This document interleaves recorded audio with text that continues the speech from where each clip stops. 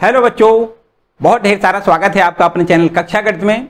बच्चों, हम लोग आज समुच्चय की एक्सरसाइज 1.4 कवर करेंगे। इस एक्सरसाइज में आपको चार टॉपिक कवर करने हैं बैन आलेख सबसे पहले। समुच्चय का यूनियन मानी सम्मलन कैसे करेंगे? समुच्चय का इंटरसेक्शन मानी सर्वनिष्ठ ज्ञात करना है, और समुच्चयों का अंतर हम ज्ञात करना है। बस इतनी सी चार बातें यहाँ पर कंप्लीट करनी ठीक है? यहाँ पर हम ये चार बातें कंप्लीट कर लेंगे। बहुत आसान से, किसी प्रकार की कोई समस्या नहीं होगी। हम आपको बता दें कि हमने पहले वाले लेक्चर में आपको कंप्लीट क्या क्या करवा दिया था। उसमें हमने आपको समुच्चय के उप समुच्चय कैसे ज्ञात करते हैं। सार्वत्रिक समुच्चय, घात समुच्चय, इस प्रकार के सारे समुच्चय एक्सरसाइज 1.3 भी हमने साथ साथ कंप्लीट करवा दी थी। तो भैया, अब तक आपने अगर उसको नहीं कंप्लीट किया है तो आई बटन दबा के उसको ज़रूर कंप्लीट कर लें। ठीक है? और फिर आते हैं एक्सरसाइज 1.4 पर। तो यहाँ पर सबसे पहले आपको समझना है बैन आलेख। बैन आलेख। देखो, बैन आलेख है क्या? इसका क्या मतलब है? बहुत आराम से समझो। देखो। जो समुच्चय होते हैं, उन समुच्चयों में जो संबंध होते हैं, उन संबंधों को, अधिकांश संबंधों को हम आलेखों द्वारा निरूपित करते हैं। अधिकांश संबंधों को आलेखों द्वारा निरूपित करते हैं। और वो आपके जो आलेख बनते हैं, बस वही आलेख बैन आलेख कहलाते हैं। उन आलेखों में जो आकृतियाँ होती ना, केवल दो आकृतियों को याद रखना है। दो आकृतियों को। अधिकांश दो आकृतियों को याद रखना है, वो आकृति आपकी एक तो आयताकार बनाना है। आयताकार बॉक्स में एक सार्वत्रिक समुच्चय बना लेते हैं। ठीक है? और सार्वत्रिक समुच्चय तो आपको पता है क्या होता है? छोटे छोटे समुच्चयों को लेकर के एक बड़ा समुच्चय जो बनाया जाता है ना, वो सार्वत्रिक समुच्चय कहलाता है ना?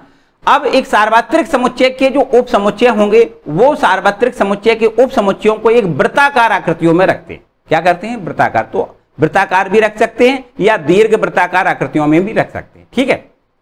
तो यहाँ पर हम इस प्रकार से, जैसे हम ये मान लेते हैं कि आपके पास कोई एक सार्वत्रिक समुच्चय है यू क्या है? सार्वत्रिक समुच्चय, जिसको हम यूनिवर्सल सेट कहते हैं, और यू से इसको हम डिनोट कर लेते हैं। ठीक है? और यू के मान लेते हैं कि अवयव आपके पास हैं one comma two comma three comma four four comma five, comma six, comma seven, comma eight, comma nine, comma ten. तो इस प्रकार हमने देखो यू लिख लिया। ये एक सार्वत्रिक समुच्चय है। इसमें हम ये मान लेते हैं कि इसका कोई एक दूसरा उप समुच्चय ए लिख देते हैं और ए बराबर लिख देते हैं one comma three comma five comma seven comma nine. ठीक है, ये हम यहाँ पर लिख देते हैं। अब देखो, अगर हमें इस प्रकार आलेखों से इनको बनाना है तो देखो ये क्या करेंगे? सार्वत्रिक समुच्चय बनाएँगे हम। और सार्वत्रिक समुच्चय के लिए हमने बताया कि आपको एक आयताकार ये ये आयताकार आकृति बनानी होती है। क्या करनी होती है? आयताकार आकृति बनानी होती है। ठीक है? ये हो गई आपकी एक आयताकार आकृति, देखो। इस आकृति को हम, देखो, इस प्रकार से आयताकार आकृति हो गई। और इस आयताकार आकृति में ये आपके यू यू यहाँ पर देखो, ये कोने में लिख सकते हो या कोने के बाहर यहाँ पर यू लिख दें। ठीक है यूनिवर्सल सेट है ये। इसके अवयव हैं one two three four five six seven eight nine और टेन तक, ठीक है। इसमें यहाँ पर देखो, इसके अवयव लिख देते हैं। इसमें एक ए समुच्चय को भी दिखाना है, जो कि इसका यू का उप समुच्चय है। क्या है? उप समुच्चय है। और उप समुच्चय को देखो, हम कहाँ पर, इस प्रकार देखो लो यहाँ पर लिख देते हैं दो दो, चार, छ, आठ, और यहाँ लिख दें दस।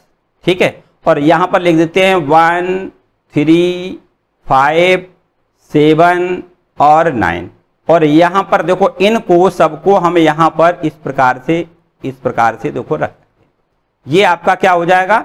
ये आपका देखो ए हो जाएगा। क्या हो जाएगा? ए ये आपका ए हो जाएगा। ठीक है?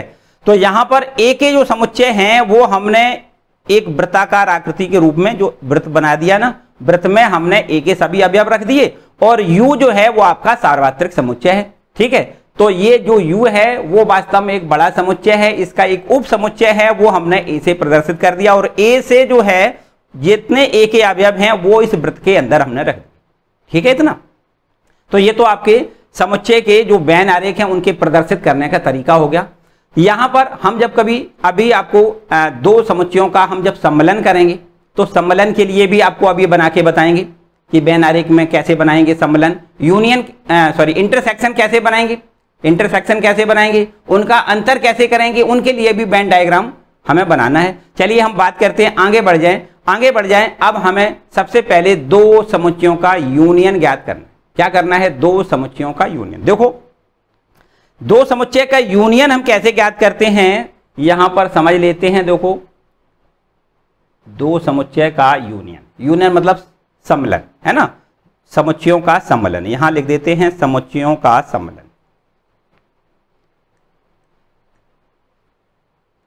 समुच्चयों का समुच्चयों का सम्मलन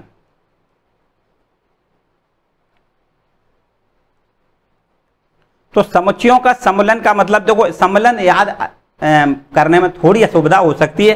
आप यूनियन याद रखो यूनियन मानी क्या होता है? इकट्ठा करना, सम्मलन करना एक ही बात है। तो आप समुच्चयों का सम्मलन याद ना रख के समुच्चयों का यूनियन याद रखोगे तो बहुत अच्छे से आप याद रख सकते हो। उसमें कोई भूला भटकी भी नहीं होगी। आपको याद रखना है यूनियन। क्या याद रखना है? यूनियन। यूनियन, ठीक है? तो यूनियन आपको याद रखना है। इस प्रकार। तो दो समुच्चयों का यूनियन हम करते कैसे हैं? बिल्कुल एकदम आसान काम है। देखो, यहाँ पर अगर हमें मान के ये चलते हैं कि आपके पास एक समुच्चय ए है और उस समुच्चय ए के अवयव हमें इस प्रकार से दिए जाएँ। मान लेते हैं A comma B comma C ये हमारे इस ए के अवयव हैं। ठीक है? और इसके बाद एक दूसरा समुच्चय कोई बी है, दूसरा समुच्चय कोई बी है और उसके अवयव इस प्रकार से हम मान लेते हैं one comma two comma three है। ठीक, बिल्कुल डिफरेंट ले लिया अलग अलग ठीक है? अब यहाँ पर अगर आपसे ये पूछा जाए कि आप दोनों समुच्चयों का सम्मलन बताइए मतलब यूनियन बताइए तो यूनियन के लिए हम क्या करते हैं? देखो ए ए और ये यूनियन का निशान यू बना देंगे इसके बीच में। ठीक है? ए यूनियन बी कहलाएगा ये। तो ए यूनियन बी बराबर, देखो किस प्रकार से लिखोगे? ए यूनियन बी बराबर क्या लिखना है? देखो ध्यान दें। ए के अवयव जितने हैं वो सब लिख दें। बी के अवयव जितने हैं वो सब लिख दें। यूनियन का मतलब सबको इकट्ठा कर दें। क्या करना है? सबको इकट्ठा कर दें।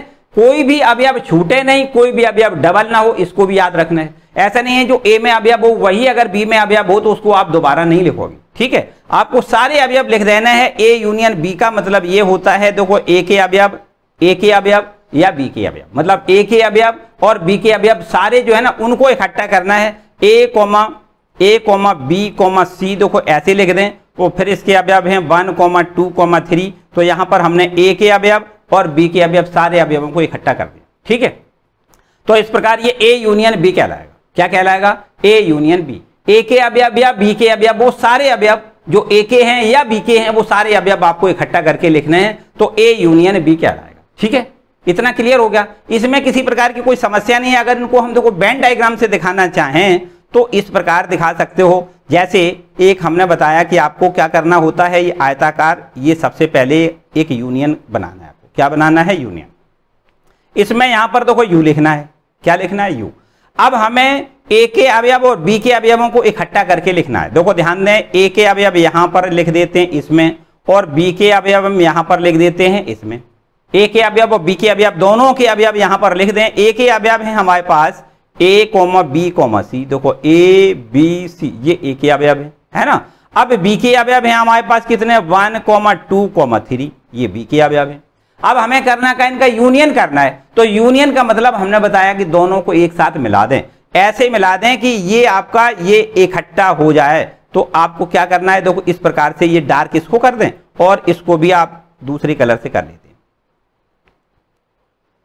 दूसरे कलर से कर लेते हैं देखो इसको इस प्रकार से डार्क कर दें, हैं? और इसको भी आप बिल्कुल इसी प्रकार यहाँ पर डार्क कर लें। तो ये मान लिया जाएगा ये आपका दोनों का इकट्ठा हो गया, ये मान ए यूनियन बी इसको कहलाएगा ये क्या कहलाएगा? ए यूनियन बी ठीक है? इस तरीके से। अब बात करते हैं हम समुच्चयों के सम्मलन की सॉरी इंटरसेक्शन की। मतलब सर्वनिष्ठ कैसे ज्ञात करते हैं? तो यहाँ पर देखो, सर्वनिष्ठ के लिए चलो दूसरा उदाहरण ले लेते हैं यहाँ पर। सर्वनिष्ठ के लिए क्या करेंगे? दो समुच्चयों का सर्वनिष्ठ कैसे ज्ञात करोगे? देखो, यहाँ पर लिख देते हैं सर्वनिष्ठ, हैं? समुच्चयों का सर्वनिष्ठ। समुच्चयों का सर्वनिष्ठ। सर्वनिष्ठ। देखो समुच्चयों का सर्वनिष्ठ कैसे ज्ञात करेंगे? मानी, इसको हम क्या कहेंगे? इंटरसेक्शन। Inter, intersection. देखो तो इंटरसेक्शन कैसे ज्ञात करोगे? दो समुच्चयों का इंटरसेक्शन आप कैसे ज्ञात करोगे? मतलब जैसे हम ये मान लेते हैं कि आपके पास एक कोई एक कोई समुच्चय ए है, उस समुच्चय ए के अवयव, देखो हम यहाँ लिख देते हैं समुच्चय ए के अवयव लिख देते हैं। One comma two comma three comma four comma five लिख दें। अब हम दूसरा एक समुच्चय बी है, उसके अवयव मान लेते हैं one comma one comma three comma five comma seven, ये हम मान लेते हैं। कि ये आपके बी के समुच्चय के अवयव हैं।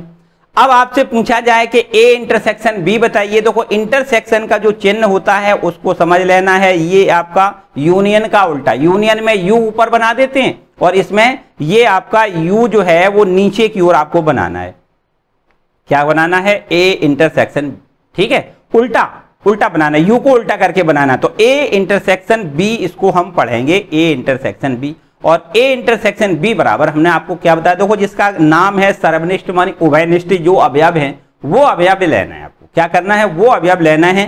देखो ध्यान दें, यहाँ पर ए में एक है, यहाँ ए में क्या है? एक है, और बी में भी आपको एक दिख रहा है तो आपको ये उभयनिष्ठ अवयव एक दिख रहा है, एक तो ये लेना है। ठीक है?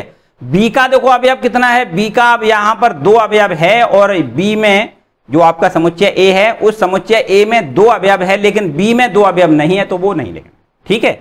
आपको क्या करना है? वो अवयव लिखना है जो ए में हो और बी में हो। मतलब ए में और बी में जो दोनों हैं, वो लिखना है आपको। तो आपको एक लिखना है, आपको तीन लिखना है, और आपको साथ साथ में पाँच भी देखो लिख देना है। ये दोनों में है, ए में है और बी में है।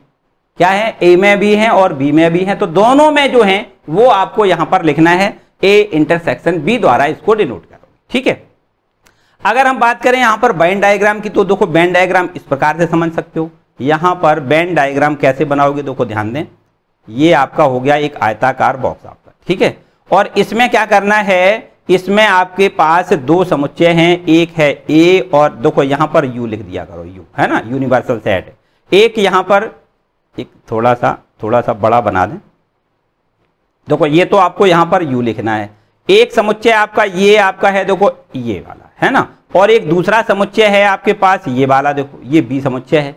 ए समुच्चय के जो अवयव हैं, वो हैं आपके पास one, three, one, two, three, four, five, है ना? इसमें हमने बताया कि ए और बी समुच्चय, दोनों समुच्चयों में आपका जो सर्वनिष्ठ है, वो सर्वनिष्ठ, ये जो कॉमन जगह दिख रही, उसमें भरना है। क्या भरना है? देखो, कौन कॉमन जगह कौन सी है? ये देखो जो बीच की जगह है वन थ्री फाइव ये आपको भरना है यहाँ पर। वन ये थ्री और ये फाइव यहाँ पर आपको कॉमन जगह में भरना है। ठीक है? जो आपके देखो यहाँ भी थोड़ा कम दिख रहा है। हम दोबारा से, फिर दोबारा से रब करके दोबारा दूसरा चित्र बनाएँगे। ठीक है? तो आपको ज़्यादा समझ में आएगा। देखो क्या करना है आपको? एक तो ए वाला, ये देखो ए बनाना। ये आपका ए यूनि मानी समुच्चय ए हो गया। अब यहाँ पर एक समुच्चय बनाना है, वो समुच्चय बी बनाना है, ये आपका बी समुच्चय हो गया। ए में अवयव हैं और बी में अवयव हैं, उनके जो उभयनिष्ठ अवयव हैं, उनको बीच वाली इस स्थान पर रखना है। उसमें आपको लिखना है कितना, देखो यहाँ पर लिखना है, आपको लिख देना है कितना? एक, तीन, पाँच। एक और यहाँ पर तीन और यहाँ पर पाँच। ये देखो, इतनी खाली जगह में तो एक, तीन, पाँच लिखना है। और फिर इसके बाद में ए के बचे हुए अवयव देखो, ए के साथ लिखना है। देखो, ये वाला, ए वाला और ये बी वाला है है ना? ये बी है। तो यहाँ पर वन तो हो गया। देखो ए में वन तो हो गया। ए में टू यहाँ लिख दें टू यहाँ लिख दें फोर यहाँ लिख दें। टू और फोर यहाँ लिख दो। अब इसमें ए में देखो, सारे अवयव हो गए या नहीं?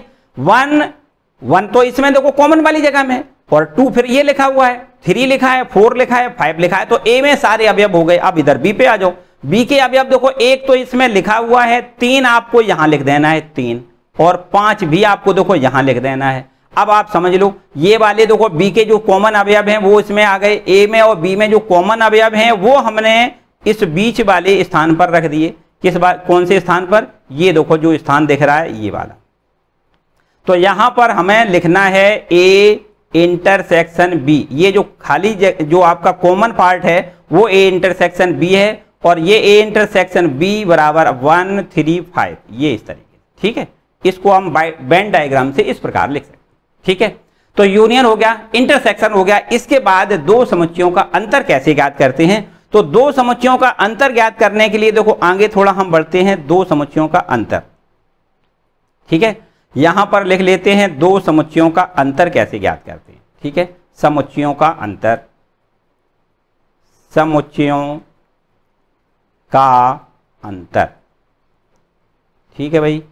समुच्चयों का अंतर। तो अब अब देखो क्या बहुत ध्यान से समझो एक समुच्चय कोई हमारे पास मान लेते हैं ए है क्या है ए और ए समुच्चय के अवयव यहाँ पर लिख दें। अगर मान लेते हैं ए समुच्चय और उसके अवयव है हमारे पास आ, ये मान लेते हैं A comma B comma C comma D comma E ये आपके अवयव हो गए ए समुच्चय की। इसके बाद हम कोई बी समुच्चय लें और बी समुच्चय के अवयव हम यहाँ लिख देते हैं। आपको यहाँ लिखना है मान लेते हैं थोड़ी देर के लिए C comma D comma E comma F ये हम आ, इसके इसके बी के अवयव लिख देते हैं ठीक है? अब हमें करना क्या है? ए माइनस बी ज्ञात करना है मतलब समुच्चय का हमें क्या करना है? ए समुच्चय से बी समुच्चय को घटा देना है। अंतर का मतलब घटाना होता है। तो यहाँ पर ए माइनस बी अगर हम ज्ञात करें तो ए माइनस बी कैसे ज्ञात करोगे? देखो ध्यान दें। हमें क्या करना है? ए में से बी घटाना है। तो निश्चित रूप से हम ऐसे देखो, मोटे दिमाग तो ऐसे याद रखो कि अगर हम कभी कोई संख्या घटाते हैं तो बड़ी संख्या जो होती है, उसका बैलेंस बचता है। छोटा वाला तो घटने में चला जाता है। तो यहाँ पर हमें ए के अवयव जो बचे हुए हैं, वो लिखना है। ए के अवयव बचे हुए लिखना होता है और बी के अवयव बचे हुए हमें नहीं लिखना होता है। ऐसे आप याद रखो, ठीक है? ए माइनस बी का मतलब होता है ए में हो बी में ना हो। ठीक है? तो यहाँ पर ए माइनस बी के देखो कितने बचे हुए अभी आप बचे हैं? यहाँ पर बचे हैं, वो आपको लिखना है। देखो ए बचेगा। आपको यहाँ पर लिखना है बी और सी से सी ये खत्म हो जाएगा डी खत्म हो जाएगा ई e खत्म हो जाएगा। ठीक है? तो ए कॉमा बी केवल इतना लिखना है। ए माइनस बी बराबर कितना हो जाएगा? ए माइनस बी बराबर हो जाएगा ए कॉमा बी ठीक है? इसी प्रकार आपको अगर बाई दबे बी माइनस ए पूछा जाए बी माइनस ए पूछा जाए तो आप क्या लिखोगे? देखो, इसमें आपको क्या करना है? बी में से ए घटाना है तो बी के बचे हुए अवयव आपको लिखना है। ठीक है? बी में हो, लेकिन ए में ना हो। बी में है, हो, किंतु ए में ना हो, ऐसे अवयव हमें लिखना है। तो बी में आपके पास, देखो ध्यान दें, बी, क्या करोगे? देखो, सी से सी आपका कैंसिल हो जाएगा D cancel E cancel F वाला केवल एक अवयव बचेगा। केवल और केवल एक अवयव बचेगा। एफ़ ठीक है? इसको यहाँ लिखेंगे तो ये बी माइनस ए क्या बी में हो, किंतु ए में ना हो। और अगर ए माइनस बी करोगे तो ए माइनस बी का क्या मतलब है? ए में हो, किंतु बी में ना हो। ऐसा हमें लिखना है। ठीक है? अब आप एक बात और नतीजा पे पहुँच सकते हो कि यहाँ पर हमें इस प्रकार से एक नतीजा मिल रहा है कि a माइनस बी जो होता है, वो कभी भी बराबर नहीं होता है b माइनस ए के। ए माइनस बी कभी भी b माइनस ए के बराबर नहीं होता है। ठीक? तो ये सब कुछ इतनी बातें थी, बहुत ज़्यादा कुछ डिटेल वाली बातें नहीं है, एकदम आसान आसान सी सारी बातें हैं और इसी प्रकार के सारे आसान क्वेश्चन एक्सरसाइज 1.4 में। एकदम आसान क्वेश्चन ठीक है? तो चलिए हम मेरे ख्याल से स्टार्ट करते हैं एक्सरसाइज 1.4 देखो, क्या है 1.4 एक्सरसाइज